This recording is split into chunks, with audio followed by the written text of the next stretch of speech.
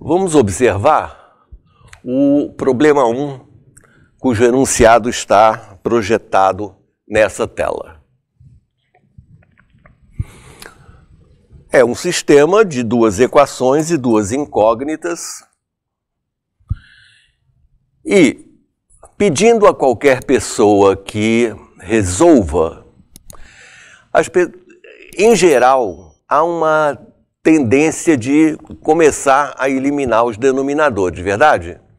Então, a primeira equação eu posso escrever como menos x mais y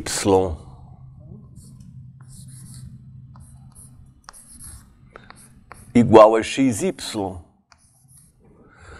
E a segunda equação eu posso escrever como 12x mais menos 3y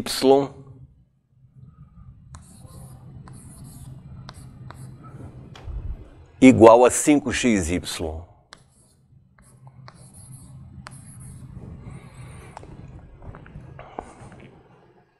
E aí?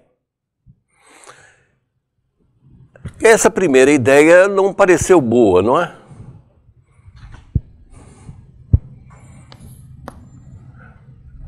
Eu poderia tentar continuar multiplicando a primeira equação por menos 5 e somando com a segunda, mas aqui eu queria alertar sobre um fato que vai acontecer mais tarde em outros problemas, que é uma forma de proceder mais adequada. Ou seja, o que a gente pode fazer de mais elementar é uma mudança de variável.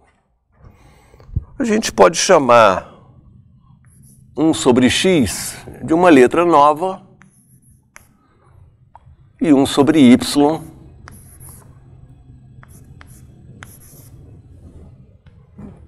A e B.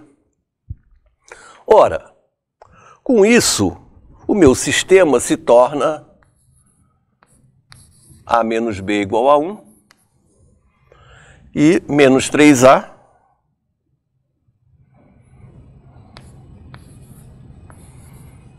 mais 12B igual a 5.